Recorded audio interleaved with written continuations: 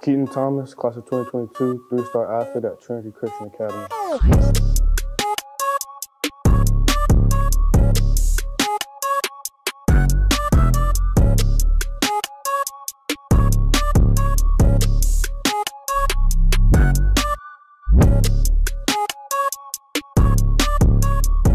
College, um, I want a coach who I can um, trust. So um, somebody who I know I can lean on when I'm far away from home.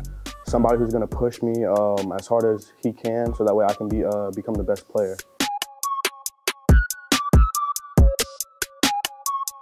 Um, a lot of schools. My biggest probably Kentucky, Maryland, Kansas, Army, Coastal, and a couple more. I can't remember off the top of my head.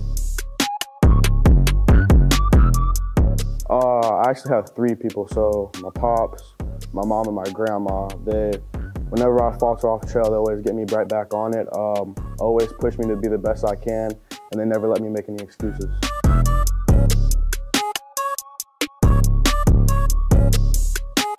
The best part of my game is definitely my physicality, um, my knowledge of the game, and then um, the speed I play it as. Uh, a lot of people um, aren't fans of blocking, say we're out, out wide and we have to block. I love blocking and getting my guys some yards and a touchdown. Uh, the coaching is amazing. Um, and then the guys there, something totally different. Everybody's in there. I mean, Trinity has the best, the best group of guys. They're the most hardworking, the most dedicated, and um, they're the hungriest people I've ever worked with in my life. And uh, we're definitely going to go far this year.